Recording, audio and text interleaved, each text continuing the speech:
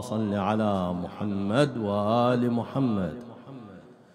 أزور سيدي ومولاي رسول الله صلى الله عليه وآله وسلم إصالة عن نفسي ونيابة عن والدي ووالدي والدي وإخواني وأخواتي وجميع المؤمنين والمؤمنات.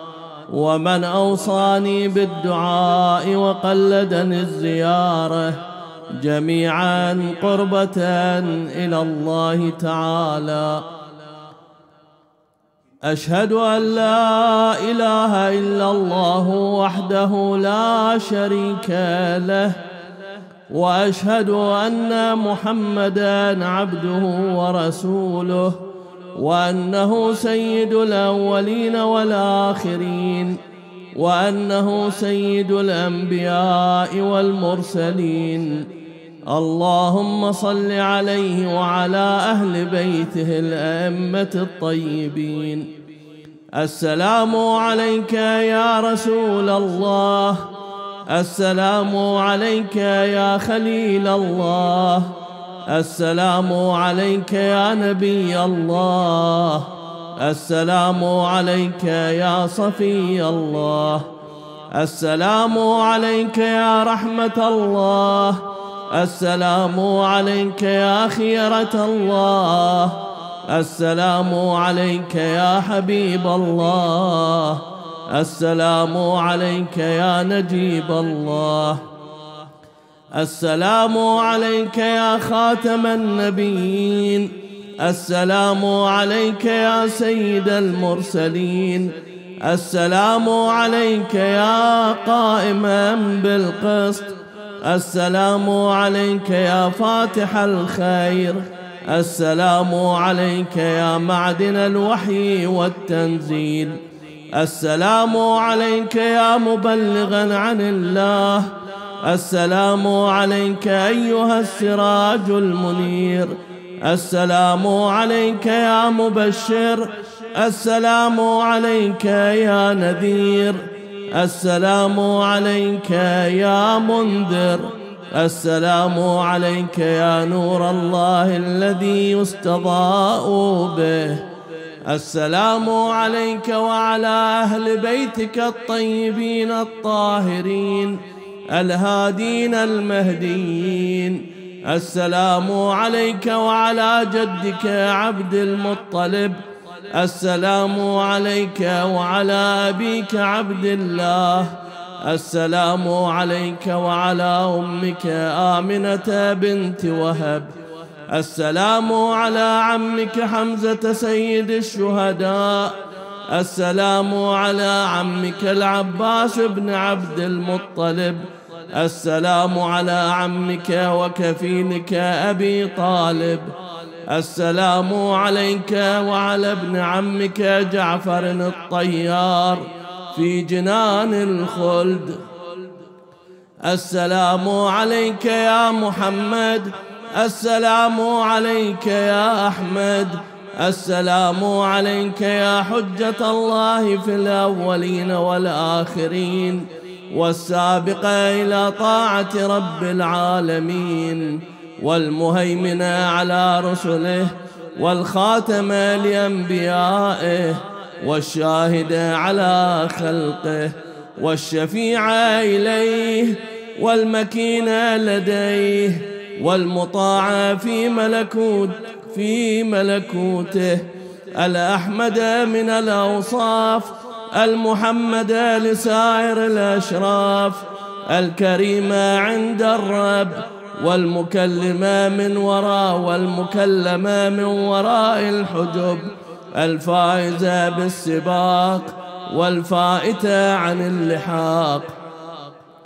تسليم عارف بحقك معترف بالتقصير في قيامه بواجبك غير منكر ما انتهى إليه من فضلك موقن بالمزيدات من ربك مؤمن بالكتاب المنزل عليك محلل حلالك ومحرم حرامك.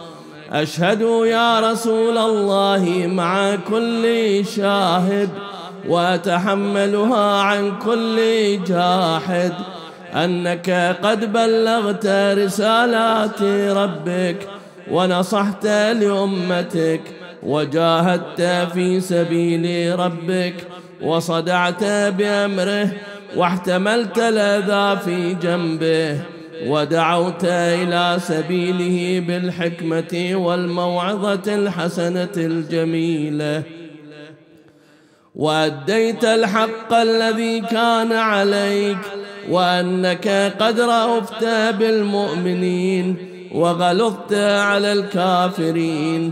وعبدت الله مخلصا حتى أتاك اليقين فبلغ الله بك أشرف محل المكرمين وأعلى منازل المقربين وأرفع درجات المرسلين حيث لا يلحقك لاحق ولا يفوقك فائق ولا يسبقك سابق ولا يطمع في إدراكك طامع الحمد لله الذي استنقذنا بك من الهلكة وهدانا بك من الضلالة ونورنا بك من الظلمة فجزاك الله يا رسول الله من مبعوث أفضل ما جاز نبيا عن أمته ورسولا عمن أرسل إليه.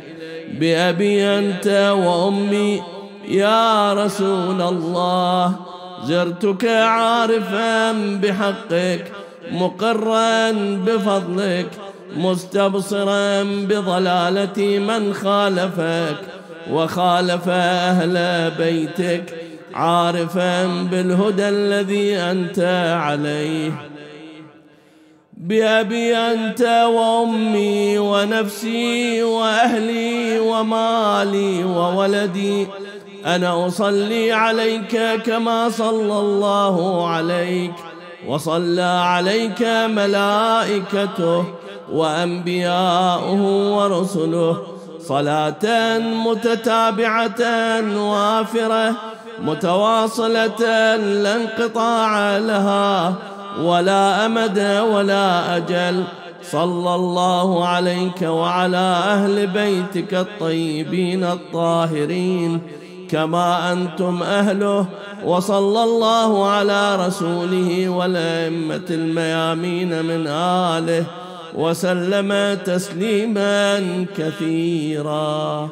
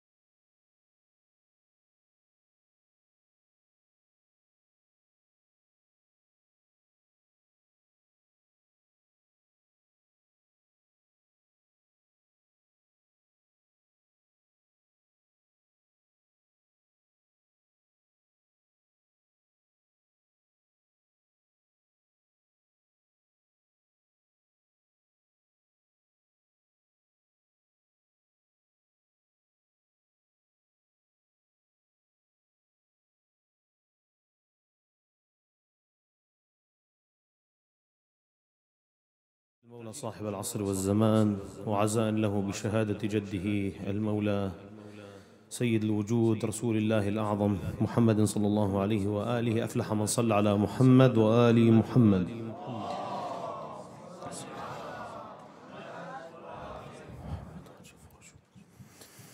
أعوذ بالله من الشيطان الرجيم. بسم الله الرحمن الرحيم. صلى الله عليك يا سيدي ويا مولاي. يا رسول الله. أيها المظلوم المسموم. صلى الله عليك وعلى آل بيتك المعصومين المظلومين. لعن الله الظالمين لكم سادتي.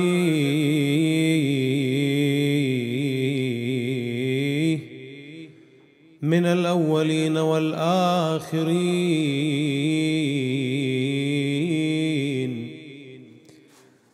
صلى الله عليك يا مولاي وابن مولاي يا أبا عبد الله يا حسين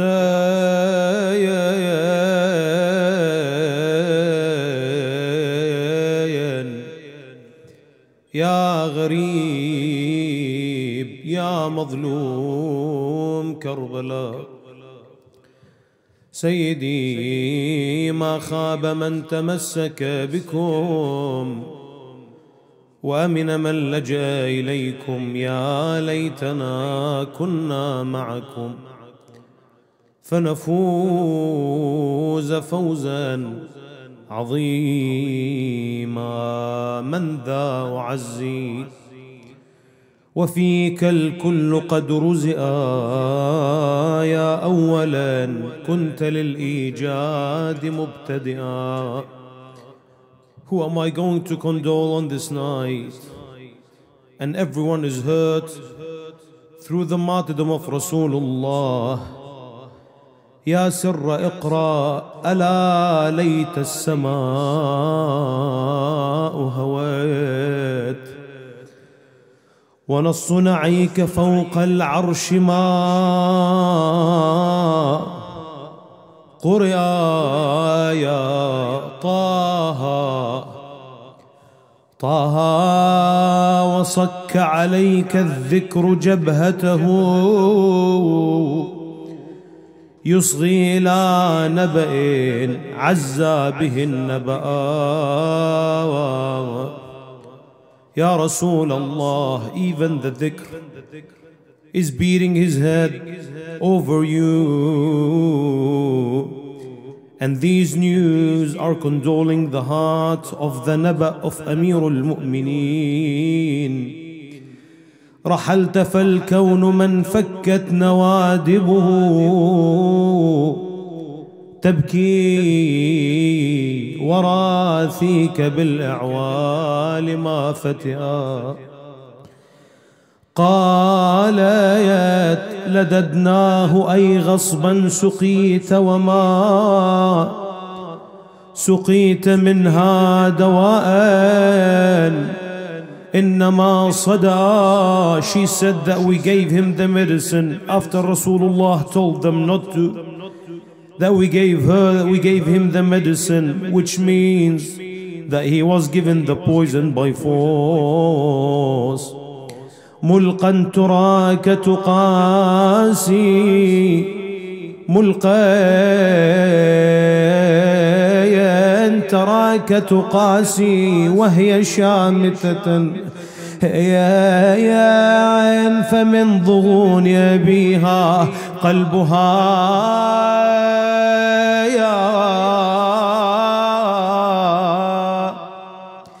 يا امتلأ آهين أتصبح إثر السم مرتعشا. يا يا إذا نهضت تجر الخطوة. يا يا يا يا يا متكئا.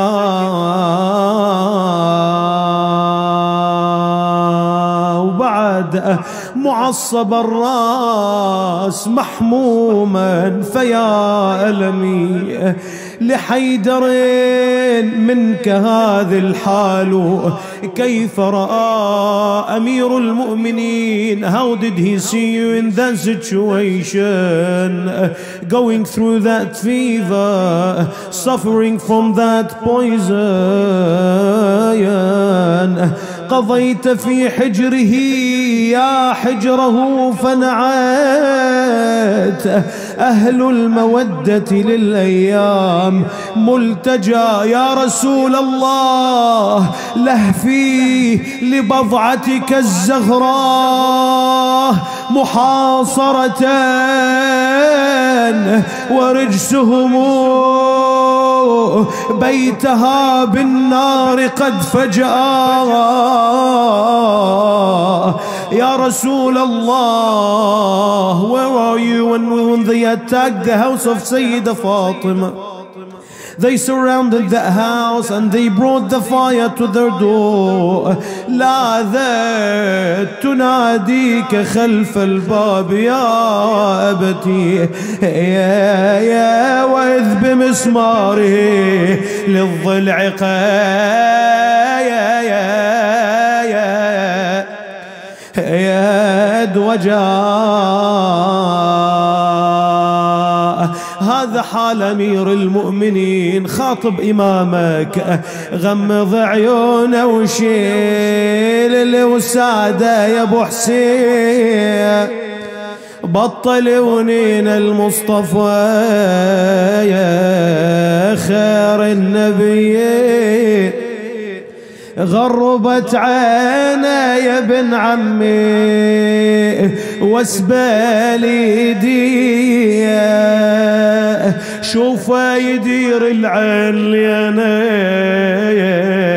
ومد رجليه وعليه take the mattress and the pillow from underneath that of Rasulullah because he already left this world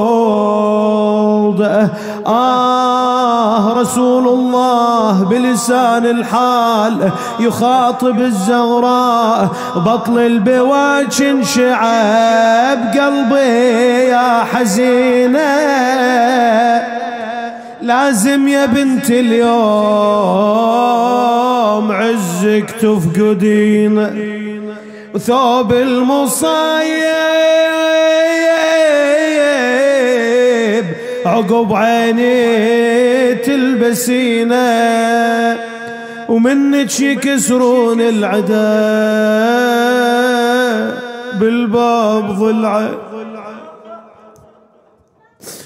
لا حول ولا قوة إلا بالله العلي العظيم. وسيعلم الذين ظلموا أي منقلب ينقلبون. والعاقبة للمتقين. صلوا على محمد وآل محمد.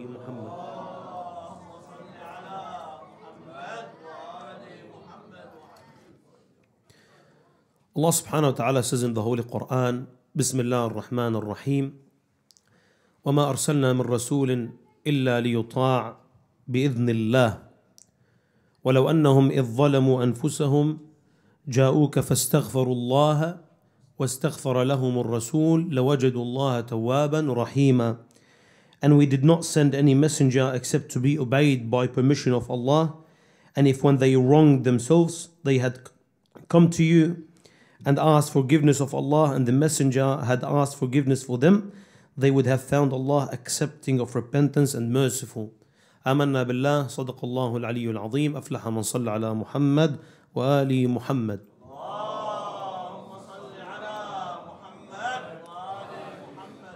In this verse, Allah subhanahu wa ta'ala is saying that bil itlaq in general, every messenger we send, you are supposed to obey him. And whoever doesn't, which is disobedience to the Prophet, is by the permission of Allah subhanahu wa ta'ala.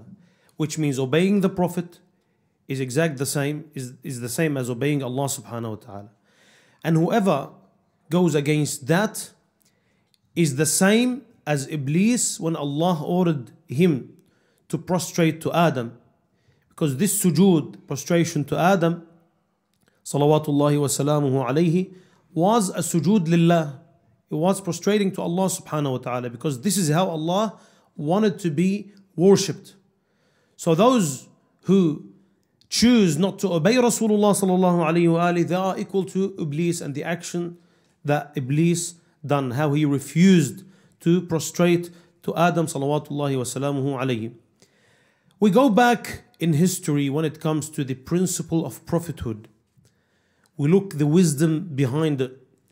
And it's important that we reflect every once in a while to reflect upon this principle so we can understand the importance of it in our lives so we can appreciate the divine message of Allah subhanahu wa ta'ala and how through this message we arrive to become more civilized. We go back in history how the human beings used to live in caves or in jungles, and each person used to be all the time in a defense mode and aware of everything around him, afraid of what he collected and what he gathered in order to survive.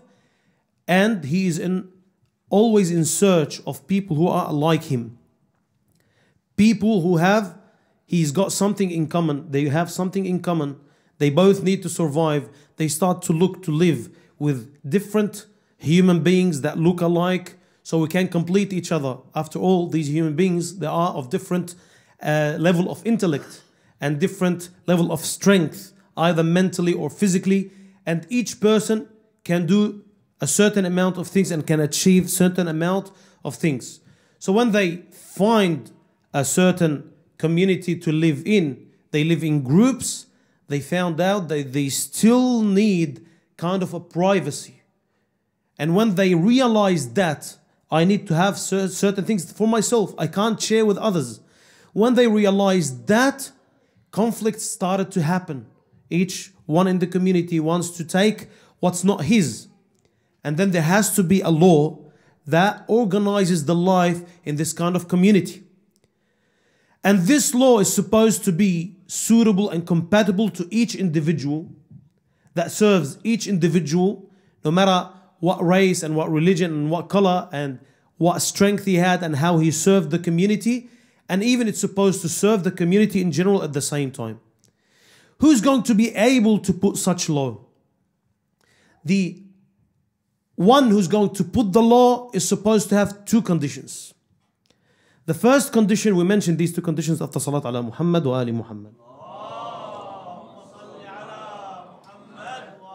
The first condition is the one who's going to put the law, he's supposed to know the nature of the human beings and their mentalities and the mood of the human beings and how does it change according to the environment and according to the conditions. This is the first condition. And the second thing that's supposed to be provided in the one who puts the law is that he's not supposed to gain a personal benefit. Because otherwise, no one is going to accept this law. Because if he's going to have a personal benefit, it means this law is going to serve a certain amount of people, a certain level of people, like nowadays the laws around the whole world. Every country, this law doesn't serve everyone. So when we think about this, and then we think about the surveillance system, the physical surveillance system in the governments, the police force, it's not enough to stop the chaos in the communities. There is a need of an inner surveillance system. Because nowadays, everyone who goes to prison if he wants to leave early, there is certain conditions to go on parole or something. I don't know what they call it. So one of the conditions is supposed he's go, he's supposed to go to AA meetings or rehabilitation or these systems because they want to make sure that he's not going to do the same mistake. Because after all, they can do so much. They can't have surveillance everywhere. So the major system that teaches us that there is a day of judgment, that there is something after this world that I'm going to be held, held accountable to what I didn't, I wasn't held accountable for in this world. That kind of belief, that kind of law will provide that inner surveillance system. And the only one who's going to be able to put this system is Allah subhanahu wa ta'ala. Because Allah, who al ghani, أنتم الفقراء إلى الله والله هو الغني. Allah doesn't benefit anything from putting this law and because he doesn't need the human beings and at the same time Allah because he created the human beings he knows better. And in order to deliver it to the people there has to be a prophet. And this prophet as well he's not supposed to have a personal benefit. And that's why we see all the prophets they didn't have any benefit from delivering the message except for Rasulullah. One thing. قل لا أسألكم عليه أجرا إلا المودة في القربة. The only thing that I want in return is the mawadda to my household, which they didn't fulfill. It's something that is intellectually and logically needed, something that we usually do.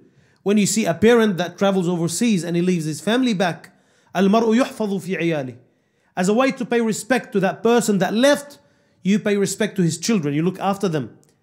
If there is if they are going through a hardship, as a mu'min, you are supposed to be there for them because the one who was providing for them and the one who's, who was protecting them, he went overseas. المرء يحفظ في عياله. If I have res- respect to you whenever you are absent, I will be uh, keep my harm away or being aid to the people that you left behind. So إلا المودة في القربة. So this prophet that wants to deliver the message, is it possible can we accept logically, and Allah subhanahu wa ta'ala is giving us a general rule that the Prophet and the Messenger is supposed to be obeyed? Can he at some point be able to forget or yahjur to hallucinate or to be in a certain situation that will make him not deliver this qanoon and this law to the people properly? Because one small mistake, it would leave different kind of problems Sometimes it can be simple, sometimes it can be big, and no one is able to control it. Here comes two questions. Since Rasulullah is the one who is bringing the law to the people. Two questions. The first question is this message and this is this law was sent to serve only the person in the day of judgment or does it serve even in the dunya? So those who Ta'ala says in the Quran وما محمد إلا رسول قد خلت من قبله الرسول أفإن مات أو قتل انقلبتم على أعقابكم ومن ينقلب على عقبيه فلن يضر الله شيئا and Muhammad is not but a messenger but subhanallah here just a, a small point you know when we speak about the narration that says that Rasulullah says in the day of judgment ashabi and then the call would come that they turned onto their heels since you left. In the translation of this verse, in the most of the applications, it says Muhammad is not but a messenger. Messengers have passed on before him, so if he was to die or be killed, the verse is supposed to be translated like this: "In qalabtum ala aqabikum," you would turn on your you would turn on your on, on your heels. But what they did here, in order to hide the fact that they did turn on their heels, they change it into a question. Would you turn back on your heels? And the expression here, in qalabtum, Allah subhanahu wa ta'ala saying, in qalabtum, that you did turn on your heels. If you go to the translation, it's a question. So if he was to die or be killed, would you turn back on your heels? So they tried every way in order to hide the crime of the companions of Rasulullah sallallahu alaihi wasallam. And we say companions because this word doesn't give these people holiness, and we'll explain that later. So, the first question is this message and is this law that Rasulullah came with only serves the person in the day of judgment? So, we might say that these people they wanted what's now because the human being in his nature يعتز بعالم الشهود he wants what's in front of him and usually they don't believe in the ghaib in the unknown that's why one of the signs of the mu'min that he believes in the unknown believes in the heaven believes in the fire of hell so we might say that these people were ignorant. Probably they didn't believe in the day of judgment. They wanted to see the effects of the message now. And to answer this question, it's important for us as well. So we can understand the importance of this Islam and the religion that Rasulullah came with. And the second question is there any situation that Rasulullah would go through that it would make, it would affect the fact it would affect his responsibility of delivering the message? We'll answer these two questions after Salat ala Muhammad wa Ali Muhammad.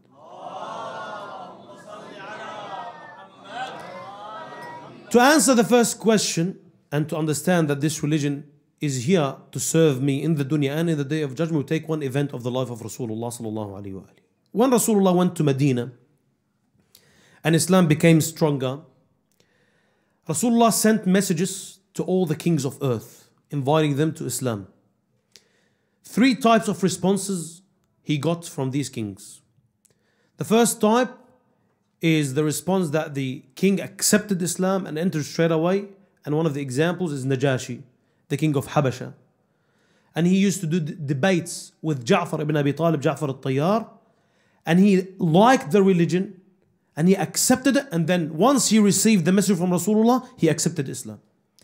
The second type is the response of Kisra, the king of Faris, the king of Persia. This man tore the message apart, insulted Rasulullah, and he got angry. And the third type is the moderate way. It was Al Muqawqas, the king of Alexandria in Egypt. What did he do? He did not accept Islam. He didn't enter Islam, but what he did, he sent gifts to Rasulullah. He answered in a moral way. Amongst these gifts, there was one doctor and two women, sisters. One, her name is Sirin, and the other one is Maria. When he received the gifts, Rasulullah accepted the two women, and we'll speak later what did he do with them.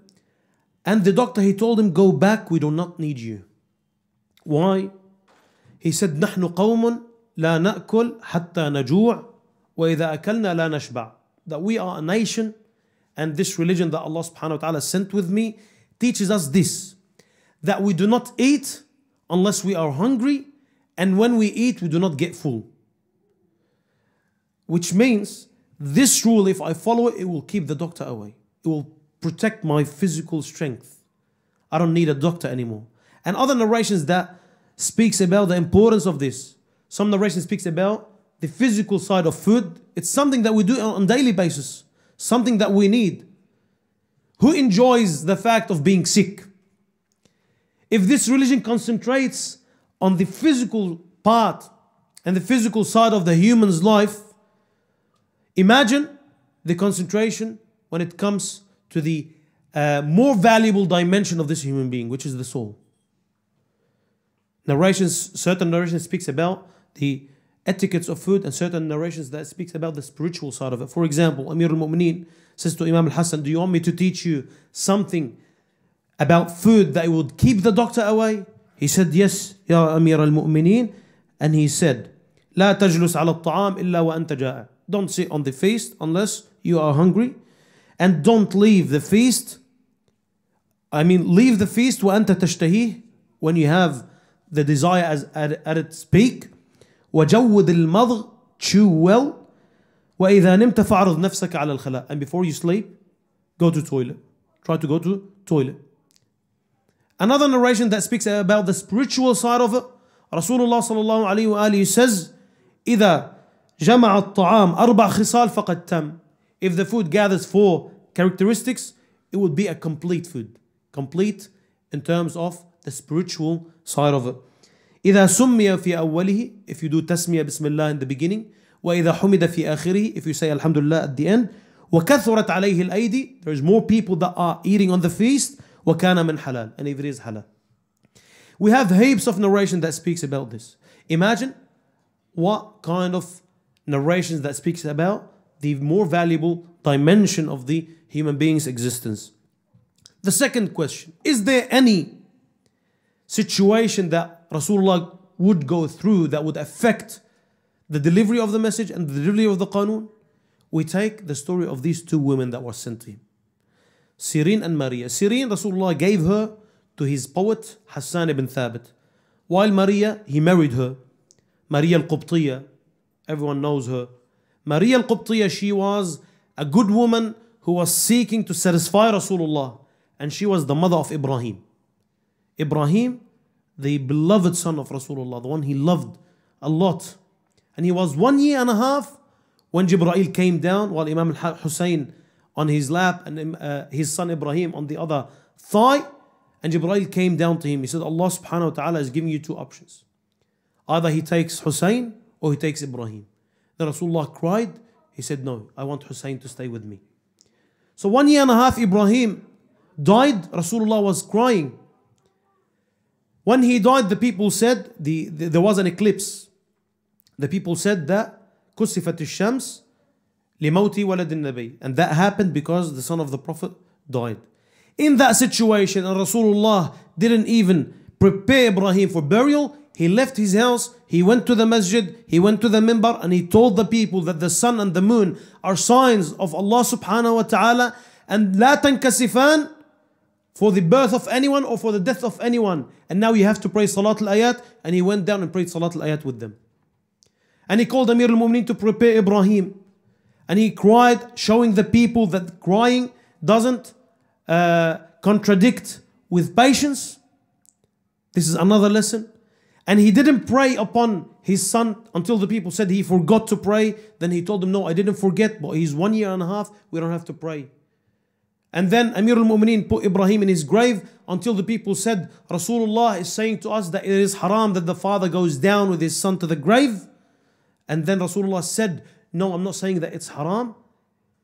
He told them that it is makruh because I'm afraid that the father, when he goes down to the grave, the shaitan would control him and he would forget his religion and he would leave the iman.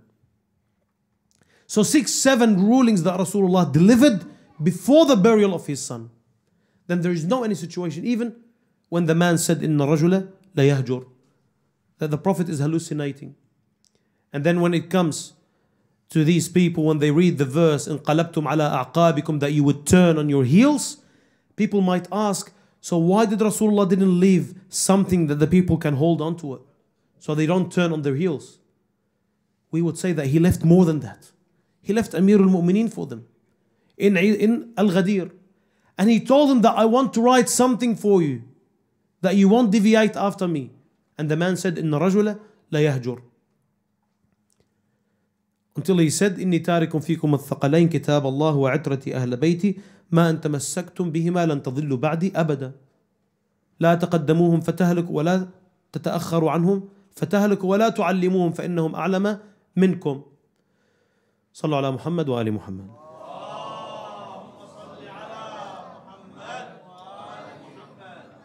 So musibat Rasulullah, the musibah of Rasulullah is a double musibah.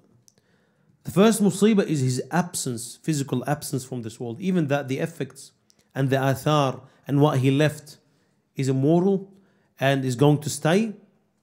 But the grace of being there, like what we are living now, the grace of seeing Sahib al Asr wa Zaman, we are deprived from it. Ajallah ta'ala farajahu sharif. It is a musibah that Rasulullah physically left this world. And that's what Ras- Sayyidah Fatima al-Zahra spoke about. She said, وَكَانَ جِبْرِيلُ بِالْآيَاتِ يُؤْنِسُنَا فَقَدْ مَضَيْتَ فَكُلُّ الْخَيْرِ مُحْتَجَبُ So you left and all the goodness is hidden with you. And not just that, the departure of Rasulullah reminds us that this dunya is so cheap in the eyes of Allah. If this dunya has a certain value in the eyes of Allah, then Ahlul Bayt, sorry, then Muhammad wa Ali Muhammad are more rightful to stay in this life. والآخرة خير لك من الأولى ولسوف يعطيك ربك فترضى And the second disaster is the tragedy that happened after his martyrdom, which is the inqilab. When they turned back on their heels. And this inqilab showed the true colors of these companions. Al-Bukhari says, Al-Bukhari says it in his book. He says, يؤتى بجمع من أصحاب Rasulullah said that on the day of judgment they will bring a group of my ashab and I will say أصحابي فيأتي النداء the call would come ما زالوا مرتدين على أعقابهم منذ فا- منذ فارقتهم since you left they turned back on their heels and this narration it indicates something that the word ashab or sahib or companion doesn't prove any holiness to the person that we describe it with. Even when it comes to the verse in the Quran, فَقَالَ لِصَاحِبِي لَا تَحْزَنْ In the cave when they both were in the cave. Some would say that the other man told Rasulullah, don't be upset. But Allah says, وَأَنزَلَ سَكِينَتَهُ عَلَيْهِ That the sakina and the tranquility only went down upon Rasulullah. Why the other one did not receive any sakina from Allah subhanahu wa ta'ala? If we say that the other man told Rasulullah la tahzan, it's a musibah. It means he's guiding him. And Rasulullah needs guidance. But if Rasulullah said to the other man, La tahzan, La is adat nahi. And this is very specific when it comes to the Arabic language. La, we, the, when Rasulullah says it, it means he's ordering the second party to stop doing something that is haram, stop doing a ma'asiyah. So that the Prophet ordered him not to, لا تحزن. إن الله معنا. فأنزل الله سكينته عليه. That's why nowadays we heard that they made a case against uh, Mullah Basim al-Karbala'i about this. In one of his qasaid he said, change the name of Sahaba and name them again Isaba. And we go to the books of their books. They say, صلوا على محمد وآل محمد. محمد وآل. In the narration, just let me bring it. صلوا على محمد وآل محمد. اللهم صل على محمد وآل محمد وعجل فرجهم. We go to Kitab al-Sunnah لعبد الله ibn Ahmad ibn Hanbal and it's mentioned in several books where they say وغضب رجال من المهاجرين and men of the muhajirin got angry for the allegiance of Abu Bakr one of them is Ali ibn Abi Talib and Zubayr ibn al-Awam and then فدخلا بيت فاطمة بنت رسول الله they entered the house of Fatima and they had weapon with them imagine going with a weapon to the house that has women and children in it nowadays and I mentioned this example before if I go as a guest to someone's house and I hold my phone and use my phone, it's considered disrespectful because I'm a guest and I'm talking to the host and the host is talking to me to hold the phone and play with it. This is disrespectful. Imagine taking a weapon that threatens and scares the, the women and the children. فجاءهما عمر في عصابة من المسلمين and Umar came in a gang of Muslimin. This expression they named themselves with it. في عصابة من المسلمين. So it's not from us, it is from them. So the word Sahaba, it doesn't give any holiness because as Bukhari says that Rasulullah would say أصحابي and they يأتي النداء ما زالوا مرتدين على أعقابهم منذ فارقتهم. And this inqilab started since before the martyrdom of Rasulullah. Since Eid, since Bay'at al-Ghadir. Since they said بخن بخن لك يا علي أصبحت مولاي ومولى كل مؤمن ومؤمنة. The question is, what would make this person deviate? What would make me deviate and turn on my heels? As the verse says. صلوا على محمد وآل محمد. محمد وآل There are many reasons we gather them in two. The first reason is that the heart was empty from Iman since the beginning. Did not even accept the Iman, or the Iman was not fixed and firm in the heart like Az-Zubayr. Az-Zubayr, he was one of the people who refused the bay'ah of Abu Bakr.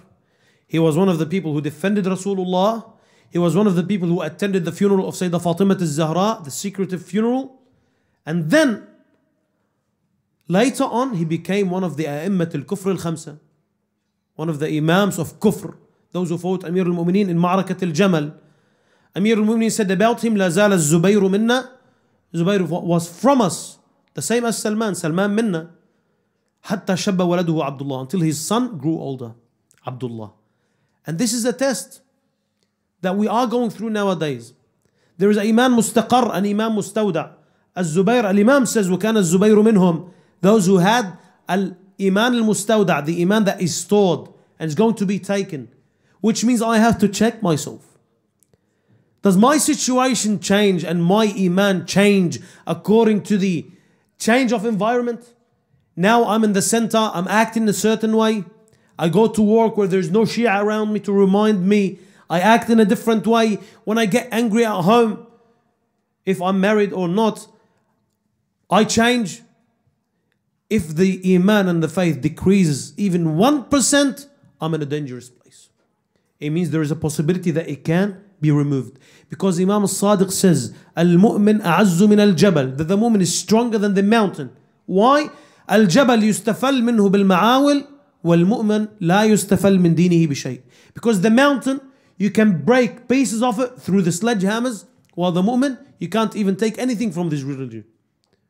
So I'm supposed to check my faith if it's mustaqar or mustawda. So the first reason, خلو القلب من الإيمان. There is no faith in the heart or the iman was hesitant from the beginning.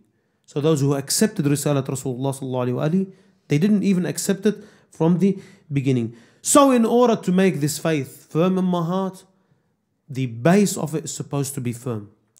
And the base of religion, أول الدين معرفته. As Amir al-Muni says in Nahj al-Balagha. معرفتullah. The base of religion to know Allah. And the only way to know Allah subhanahu wa ta'ala is through Muhammad wa Ali Muhammad. And I'm saying this because we up till now we need to strengthen this ma'rifah with Ahlul Bayt because Ya Ali ما عرف الله إلا أنا وأنت There is no one that knows Allah except for me and you. But nowadays we are choosing to hold on to individuals to take the religion, the usul al-din from them. Nowadays we are comparing between Ahlul Bayt salawatullahi wa salamu alayhim and normal people that are not infallible. Someone used the verse in the Quran as an excuse, وَلَكُمْ فِي رَسُولِ اللَّهِ أُسْوَةٌ حَسَنَةٌ In order to do what? They say, yes, this verse says that we can compare our ulama and our maraja to the Prophet and to the Imam. We say that even Ahlul Bayt, the Imams, after Amirul Mu'mineen, they didn't even call themselves Amirul Mu'mineen. Not just that, a man came to Imam al-Sadiq or Imam al-Baqir salawatullahi wa salamu alayhi and told him that Rasulullah said about Abu Dhar that ما أقلت الخضراء أصدق ذي لهجة من أبي ذر that this earth never no one walked on this earth more honest than Abu Dhar then what do we say about the Prophet and the Imam and Ali and Fatima and Al-Hassan and Al-Hussein then he said to him how how many months is there in a year he said 12. How many of these months are Hurum? He said four. He said, Is Shahr Ramadan one of these months? He said, No. He said, Then why in Shahr Ramadan there is one night that, that's better than a thousand months? خير من ألف شهر. The man went silent. He says, إن أهل بيت لا يقاس بنا أحد. That we are Ahlul Bayt, no one can be compared to us. For me to have the audacity to say that this is a Ali of my time and the Hussein of my time, it is dangerous with all due respect to all the scholars. These scholars, they are the way to go to the knowledge of Ahlul Bayt. They brought the narrations. So I strengthen my ma'rifah of Ahlul Bayt, and through that ma'rifah, I understand the value of the scholars. When I know Ahlul Bayt, I know the value of the Maraja. Because they are the holders of the words of Ahlul Bayt, salawatullahi wa salamuhu alayhim. While the Imam is so strict about it. إن أهل بيت لا يقاس بنا أحد and we recite in زيارة الجامعة من أراد الله بدأ بكم ومن وحده قبل عنكم whoever wants Allah subhanahu wa ta'ala starts with you and the second reason which is a branch of the first one the love of dunya حب الدنيا because حب الدنيا رأس كل خطيئة as the Imam says أمير المؤمنين حب الدنيا the love of dunya is the head of every is the cause and the reason behind every sin like Ali ibn Hamza we commemorated the martyrdom of Imam Rida. Ali ibn Hamza was a companion of Imam al-Kadhim. He saw his worship. He accompanied him. He was his assistant. And he saw the beauty of Imam al-Kadhim. He's just and everything. And when Imam al-Kadhim died, and he saw that he is in control of the money of Ban al-Muslimin, what he did, when Imam al-Rida became the Imam, he said there is no Imam after Imam al-Kadhim. And he was the one who created the sect of al-Waqifiyah. Just for the love of money. بلعم ibn Ba'ura had الاسم الأعظم. But because of the love of the mansib and the jah and the status with Pharaoh, Pharaoh told him to do dua upon the Prophet Musa using al-ism al-a'zam. Allah took al-ism al-a'zam from him. And Allah said in the Quran, مثله كمثل الكلب إن تحمل عليه يلهث أو تتركه يلهث. So from a scholar to a dog. He turned from a scholar into a dog. And after Rasulullah, for the love of the power, people went against Amir al-Mu'mineen and left him 25 years in his house. Until Amir al-Mu'mineen said about them, حالية الدنيا في أعينهم وراقهم زبرجها They were too deceived by the decoration of this dunya and they seeked refuge, refuge in its decoration وراقهم زبرجها Rasulullah صلى الله عليه وآله how did he deliver this message بالحكمة والموعظة الحسنة ولكم في رسول الله أسوة حسنة وجادلهم بالتي هي أحسن Rasulullah concentrated on the way they sit in the streets. He said to them, Do not sit like this in the street. They said to them, Malana min bud. We have to. We like to sit here. He said, If you sit like this on the road, فَأَعْطُوا الطَّرِيقَ حَقَّهُ Give the right to the road, which means you have to keep space so that people can pass and people can go to their destinations. To that point, Rasulullah, even to drink the way I drink, he said, You drink twice or three times, don't drink once. If these things Rasulullah is concentrating on, imagine when it comes to the last will before he leaves this world. The last thing that he has to say when these people, he told them, Go with Jaysh Usama. May Allah curse those who leave Jaysh Usama. And these people, because before that, when Rasulullah punished certain people and a verse came down about them, they regretted. And some of them, they put a rope, bisaria, in, in a pole outside the masjid to punish themselves because they understood their fault and their mistake. But these people, they accepted, they heard Rasulullah cursing those who would leave the army of Usama and they accepted the curse upon them and they went back. 18 people at the house of Rasulullah sallallahu alayhi wa alihi, they came to him just to say that the man is hallucinating and to insult him and to speak loudly in his presence until he kicked him out. And you still see people that admit to that and then they say, well, yeah, they did mistakes. And that's why they accuse the Prophet of doing mistakes as well. So they can give excuses to their masters. لعنهم الله أفلح من صلى على محمد وآل محمد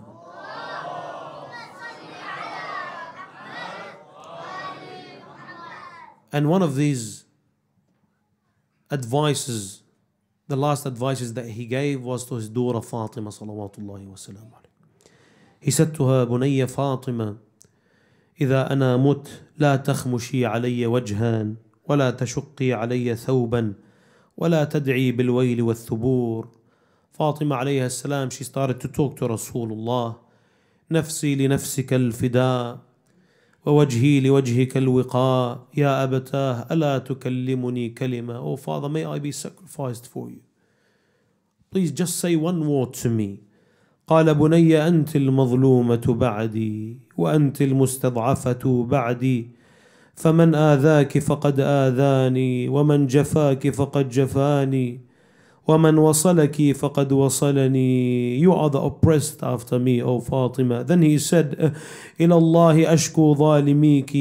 Then he looked upon أمير المؤمنين وقال أو تصبر إذا قادوك بحمائل سيفك أو تصبر إذا قادوك في محرابك أو تصبر إذا هتكت الحرمة. نكس برأسه وهو يبكي وفجيعته نادى أصبر أو تصبر إذا أحرقوا باب داري. أو تصبر إذا ضربوا فاطمة.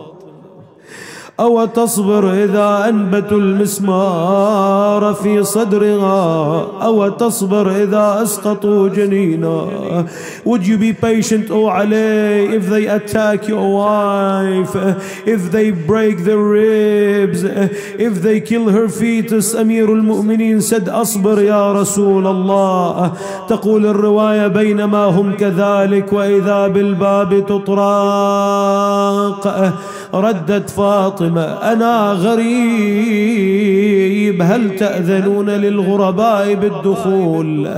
قالت له إن رسول الله مشغول عنك جاء مرة ثانية أنا غريب هل تأذنون للغرباء بالدخول؟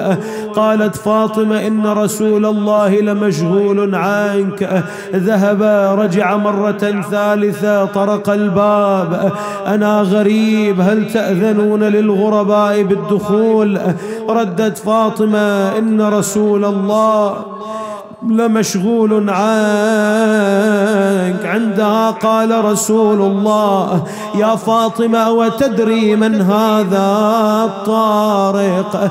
قالت من هو يا أبا قال لغى هذا مفرق الجماعات هذا هادم اللذات هذا ملك الموت والأمير المؤمنين فاطمة الزهراء بسعد رسول الله Someone knocked at the door and he said, I am a gharib, I am a strange. Would you accept for the strangers to enter? Three times Fatima said to him that Rasulullah is busy and he can't welcome anyone. Until Rasulullah told her, Do you know who's on the door? She said, Who is it, Ya Rasulullah? He said, This is the angel of death. لا يستأذن لم يستأذن على أحد قبلي ولن يستأذن على أحد بعدي دخل ملك الموت إلى رسول الله قال السلام عليك يا رسول الله العلي الأعلى يقرئك السلام ويخيرك بين البقاء في الدنيا وبين لقائه Allah delivers his salutations to you and he tells you gives you an option do you want to stay in this dunya and go other or you go and meet him. Then Rasulullah said والله لن أختار على لقاء الله شيئا ولكن انتظر حتى يأتي حبيبي جبرائيل صعد ملك الموت إلى السماء وبينما هو في السماء إذ جبرائيل ينزل قال له أما قبضت روح محمد أما ترى الجنان قد تزينت والحور العين قد تهيأت قال له إنه استمهلني لقدومك Jibreel met Malik al-Maut on the way when he was going up to the heavens. Uh, he said, didn't you take the soul of Muhammad yet? Uh, he said, don't you see that the heavens are decorated for the, for the arrival of Rasulullah. Malik al-Maut said, he said that he wants you to be there. Jibreel went down uh, saying, وَلَلْآخِرَةُ خَيْرٌ لَكَ مِنَ الْأُولَى ولسوف يعطيك ربك فترضى جبرائيل جلس على يمين النبي ميكائيل على شماله. ملك الموت عند رجليه أمير المؤمنين عند رأسه.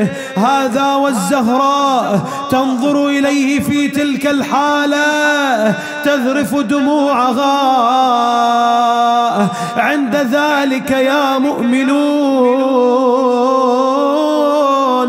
ملك الموت جعل يسحب روح نبينا شيئا فشيئا وبروية حتى فاضت روحه بين يدي أمير المؤمنين. وأمير المؤمنين يده تحت حنكه جرت دموع عيناه وكأني به يقول الآن بدأت المصائب الآن صرت غريب الآن صرت وحيد الآن استوحدوني هؤلاء القوم وكأني به شريط مصائب الزهراء يمر على باله بعدما حدثه رسول الله. رحم الله من نادى ومحمدا ورسول الله ومسموما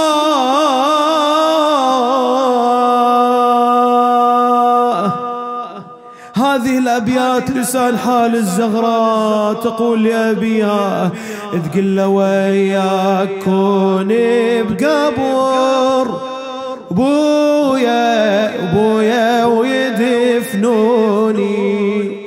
يا الخذت فرحتي ما أريد دنيتي بويا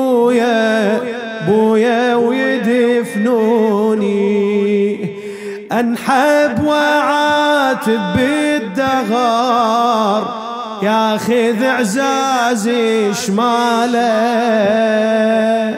الفرق أبي يا خلق يصير الحزن شتاله ما يوجد بكل البشر. والد وماكو مثاله ابني واخو أمي وابو كلهن أحس بأفعاله. أتمنى ديري العمر لأجلك لأجلك يخلوني خل تجي موتتي ما اريد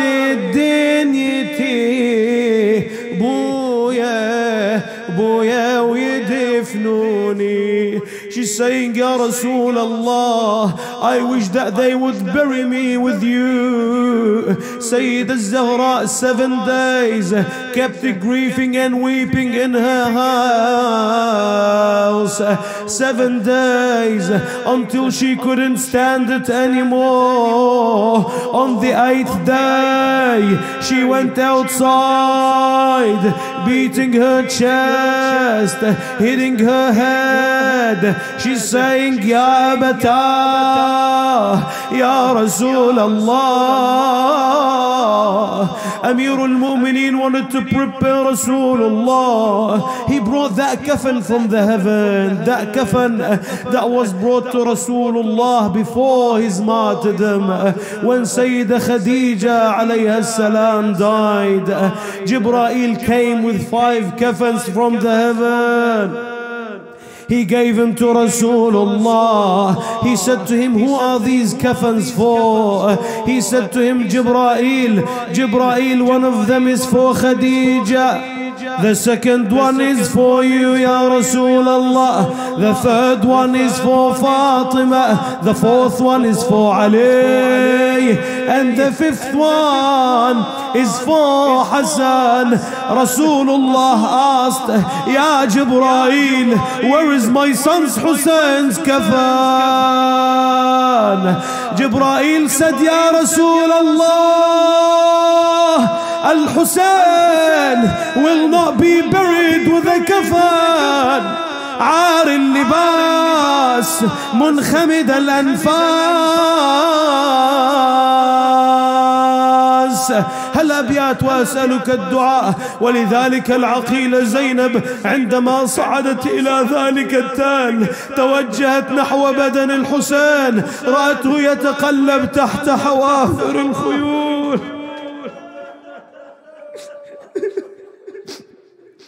وجهت كلامها إلى الزهراء. تقول عار حبيبي على غبره جثة سليبة وموذرة.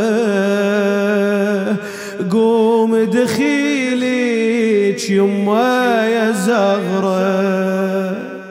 نوحي على الشيب التخضب نوحي على الجسم تسلب وبكي يا يمه بونا على نحره ليش؟ صدره يا حزينه من سحين. وسكنة بنت الجسم توين. خويا من طريح بلا دفين. جيبي للولي كفن حسين على غبر يسيل دم حسين نشف جروحه يا يم. حسين قوي داوي أبو اليمه بيت الدعاء الزهراء تجيب تقول جيت يا زينب ما عفته شف بدمه خاف ضبته ضلوع شفتها وضلعي لطمته. فدوى إلى ضلعي وكسرة. فدوى إلى عين الحمرة. عاري حبيبي عالغبرة شفته. رتاح حضنه بس من ياك تور. ما ظل عنده يا زينب صدور حير لي دليلي موزع والرمول مثل الجمور. حسين هاي أنا الزغره أمه. حسين حيرني وليد بهمه. حسين ما أدري شلون أجمع جسمه. حسين.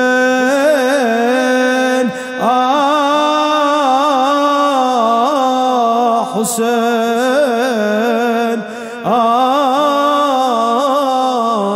آه حسين. آه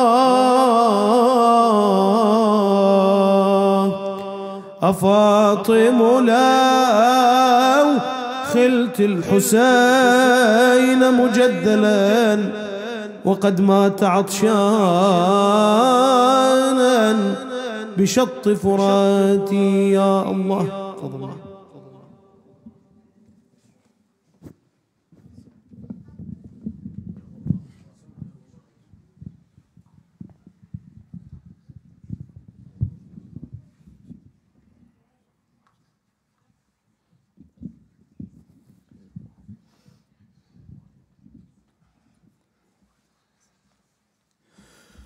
عظم الله أجورنا وأجوركم بهذا المصاب الجلل.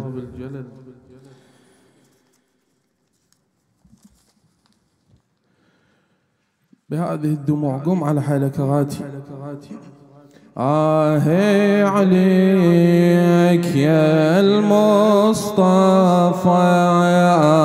آه عليك.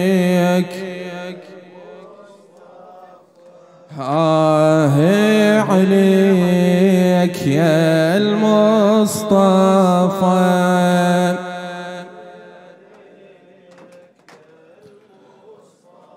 آه آه عليك يا المصطفى. آه عليك.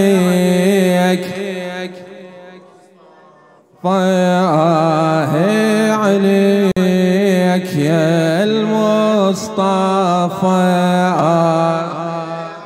صوتك صوتك هلا بيك. هلا بيك آه لجل النبي ناحي الملأ كل الملايك نازلة. حدر دموعها ملا حدر دموعها ملا يوم النبي نورا طفى آه عليك. آه عليك آه عليك. آه حدر مصابت جرعه قلبا خمش بالفاجعة ينعي ويلي طالعة عالمغتسل وقت الصفا. آه عليك. أجرك على النبي. آه عليك.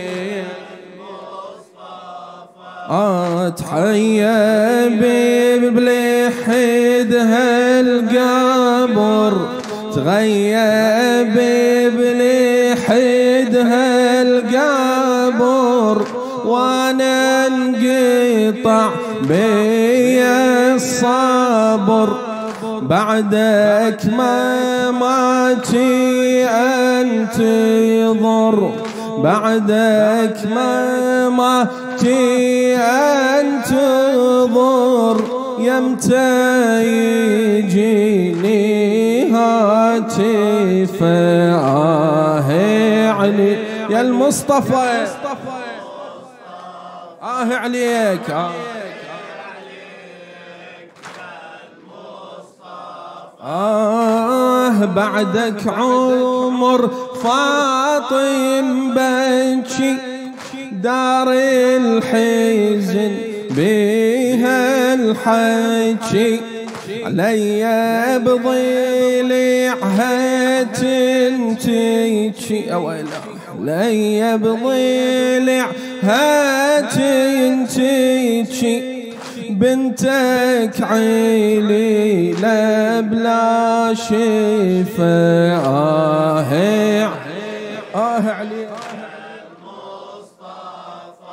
آه عليك. بارك الله بك غاتي بارك الله بك يلي تحفظ المستهل وتساعدني بالجواب. يساعدك إن شاء الله رسول الله دنيا وآخرة ببركة الصلاة على محمد وآل محمد.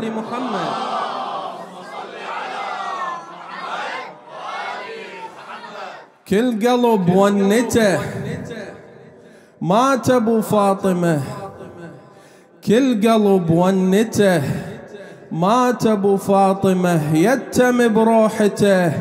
كم وحي من السمه يتم بروحته كم وحي من السمه؟ ما شاء الله الحضور حضور يفرح قلب الزهراء. أريد منك جواب. علوي حيدري بأعلى أصواتك كل قلب ونته. مات أبو فاطمة كل قلب ونته. مات ابو فاطمة يتم بروحته. كم واحد من السما كل قلب كل قلب. مات ابو فاطمة مات ابو فاطمة كل قلب كل قلب. مات ابو فاطمة. يتم بروحته يتم بروحته كم واحد من السماء يتم بروحته كم واحد اسمع اسمع. كل قلب ونته كل قلب ونته. مات أبو فاطمة. يتم بروحته كم واحد من السماء يتم بروحته آه مات ابو الزهرة وقع سور الهداية. مات ابو الزهرة وقع سور الهداية. والمدينة مظلمة بحكم المناية. هذا النص أجرك على رسول الله. ما تقل لي أم قتل سيد البرايا ما تقل لي أم قتل سيد البرايا بك المصحف دمعة دمعة وآية آية. بك المصحف دمعة دمعة وآية. يا رتل بحسرته ودمعته ساكمة رتل بحسرته دمعته ساكمة يتم بروحته. كل قلب كل قلب. مات أبو فاطمة. كل قلب كل قلب. ارفع إيدك وجاوب. مات ابو فاطمة يتم بروحته. كم واحد؟ يتم بروحته يتم بروحته. آيا شلون شرح فراق أبو القاسم أقوله؟ شلون شرح فراق ابو القاسم اقوله؟ وانقطع وحي السماء موطن نزوله إلى خادم أهل البيت الشاعر الموفق مجتبى الأسد يا غاتي. تيتم الإسلام وفروعه وأصوله. تيتم الإسلام وفروعه وأصوله مثل ما متيتم الزهرة البتولة.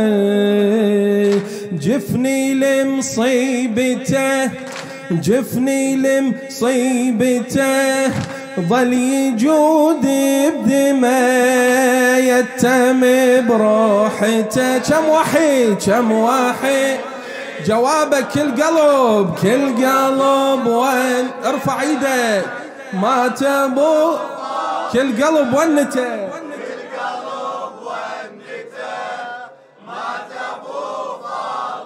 يتم بروحته يتم بروحته. يتم يتم بروحته. آياه يلي تنشد شنهو أسباب ارتحاله؟ بالشهادة ختمة سنين الرسالة. قلبه وعلى عقابهم أهل الضلالة. قلبه وعلى عقابهم أهل آه جاز وأخلاق الحميدة باغتياله. جاز وأخلاق الحميدة باغتياله. جمريته بشبدته جمرته بكبدته وهي متسممة يتم بروحته. كل قلب ونته كل قلب مات أبو فاطمة. كل قلب حفظك الزهراء إن شاء الله. يتم بروحته يتم بروحته كم واحد؟ يتم بروحته يتم بروحته آية امرأة نوح بكتاب الله لعينه وامرأة لوط تبعت نفس الضغينه. من مثلها وي غدر النبينا من مثلها وي غدر النبينا لعنة الله عليهن الكفر نبدينا خانن برحمته وسحقن المرحمة.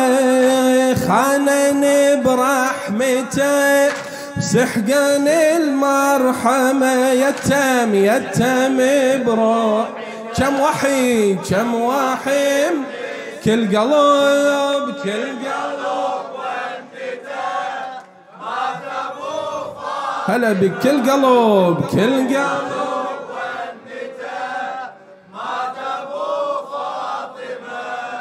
يتم بروحته يتم يتم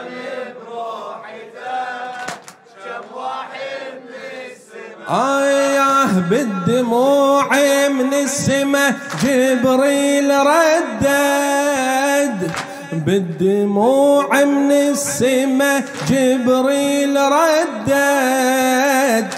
آه ويلاه واستشهد محمد. جوابك.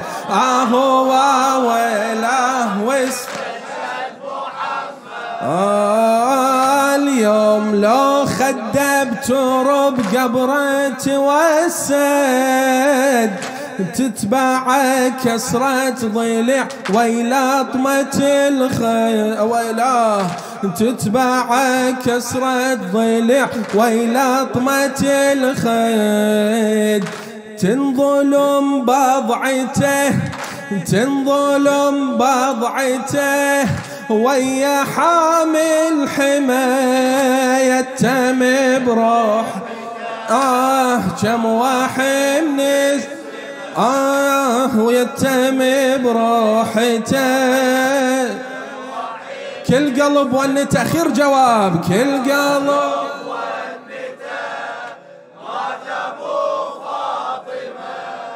كل قلب يتم بروحته يتم بروحته يتم يتم بروحته آه لولا مسمو من غدر سيد البرية. لولا مسمو من غدر سيد البرية. شاسي من الكسر بالعز جية. كلها أحداث السقيفة جاهلية كلها أحداث السقيفة الجاهل. هنا حرق الباء هنا حرق باب وخيم بالغاضرية. هنا حرق باب وخيم بالغاضرية. يا من عقب عتبته من عقب عتبته يلهب مخيمه يتم بروحته. يتم يتم بروحته. آه أولاه يا الهادي أولاه يا الهادي يا الهادي أولاه يا. آه أولاه يا الهادي اي أولاه يا الهادي هادي اليوم دمعة البتول تهمل لفقد الرسول. اليوم دمعة البتول تهمل لفقد الرسول. تصرخ بحرقة وتقول موتي أتمنى وراها ولاه يا الهادي أولاه أوي أولاه يا الهادي أولاه الدمع من دم يسيل الدمع من دم يسيل ليلي من بعدك طويل. تراب قبرك قم تهيل تراب قبرك قم تهيل وصحت من روحي فداها ولا يا الهادي ولا. هلا هلا أولاه يا الهادي هادي قمت الطم عالضلع قمت الطم عالضلع وركض قدام الدمع وركض قدام الدمع. وخلصت مثل الشمع وخلصت مثل الشمع. من بعد نوره وضواه ويلاه يا الهادي. أويلاه آه يا بعد ناسي وهلي من بعد عينك علي. يا بعد ناسي وهلي من بعد عينك علي. من بعد عينك هم ما ظن ينجلي هم ما ظن ينجلي قلبي بالون جواه ويلاه يا الهادي. أه ويلاه يا يا أبويا بس عني مشيت. خدمتك راتب خدمتك. إلى خادم أهل البيت. عقيل حسين القرعاوي يا بعد ناسي وهلي من بعد عينك علي. يا بعد ناسي وهلي من بعد عينك علي. هم ضاضن ينجلي هم ما ظن ينجلي. قلبي بالون جواه ولاه يا الهادي. وويلاه وويلاه يا الهادي. آه يا ابويا بس عني مشيت بالذبول أنا ابتديت بلي بغضون ابتليت بلي بغضون ابتليت حقد على عترة بداه حقد على عترة بداه ويلاه يا الهادي اويلاه اويلاه يا الهادي خادم خادم ويلاه يا الهادي يا ابويا بس عني مشيت بالذبول أنا ابتديت بويا بس عني مشيت بالذبول أنا ابتديت بلي بغض ابتليت بلي بغض ابتليت حقد على عترة بداها ولا يا الهادي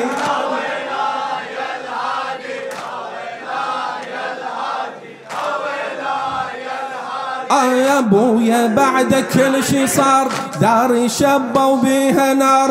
بويا بعد كل شي صار داري شبوا بيها نار. كانها تطلب بينا ثار كانها تطلب بينا ثار الهبل رادت رضاه الهبل رادت رضاه ولا يا الهادي. أولاه يا حفظك الزهر إن شاء الله. حيدر بوده يهد يسحب بسيفه ويرد. حيدر بوده يهد يسحب بسيفه ويرد. لأن من طيلك عهد لأن من طيلك عهد. ما يسل على الإنجاه ما يسل على الإنجاه أسمع يتمتم كلا. هلا هلا بيك. اسمع تمتم كلام والله لو سل الحسام. اسمع تمتم كلام والله لو سل الحسام. إلا سويها ظلام بابي أحد لو ديناها ولا يا أي اويلاه يا الهادي اويلاه اويلاه يا الهادي. تعبت بوجهه أقرش قد حكي. روح بالبيت ويجي بوجهه أقرش قد حكي. روح بالبيت ويجي قول بس من يرجي قول بس من يرتجي. رخصة ينطيني الإله ولا يا الهادي. أولاه يا الهادي. بيت دعاء آه بالختام الهالعزاء كلنا خل نهتف نداء بالختام الهالعزاء كلنا نهتف بالعزاء الختام الهالعزاء كلنا خل نهتف نداء كربلاء وكربلاء كربلاء آه كربلاء وكربلاء قلبي صاير مبتغى. قلبي صاير مبتغى. أولاه يا الهادي. أولاه خادم وممنوع حيدر بوده يهد. يسحب بسيفه ويرد. حيدر بوده يهد. يسحب بسيفه ويرد. لأن من طيلك عهد لأن من طيلك عهد ما يسل على الإجاه ما يسل على ال... أولاه يا الهادي. أولاه يا الهادي. آه بالختام الهالعزاء كلنا خله تفندا كربلاء وكربلاء. كربلاء وكر قلبي صاير مبتغى.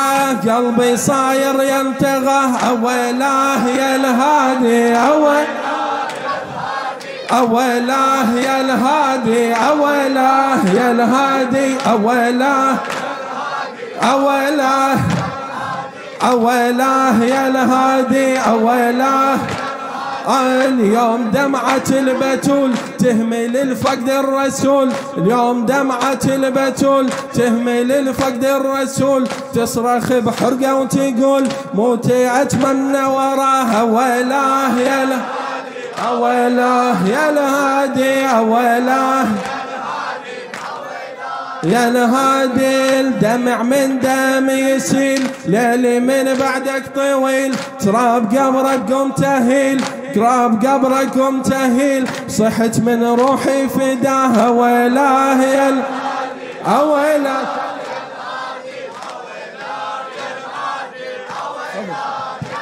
أويلاه يا الهادي ما قصرت أغاتي أجرك إن شاء الله. على على النبي إن شاء الله وعلى الزهراء ما قصرت أغاتي اللهم صل على محمد وآل محمد. اللهم بفاطمة وأبيها وبعلها وبنيها. والسر المستودع فيها فرج عنا فرجا عاجلا قريبا كلمح البصر. أو هو أقرب من ذلك. اللهم كن لوليك الحجة. صلواتك عليه وعلى في هذه الساعة وفي كل ساعة وليا وحافظا وقائدا وناصرا. ودليلا وعينا. تسكنه أرضك طوعا وتمتعه فيها طويلا. برحمتك يا أرحم الراحمين. ولتعجيل الفرج واستجابة الدعاء وقبول الأعمال. وقضاء الحوائج حوائج الحاضرين والحاضرات والمستمعين والمستمعات. ولرد كل غريب وفك كل أسير وإصلاح كل فاسد من أمور المسلمين ولأرواح أموات المؤمنين والمؤمنات الشهداء والعلماء من مات على الإيمان خدمة الحسين. نهدي إليهم جميعا ثواب ما قرأناه والثواب المباركة الفاتحة مع الصلوات.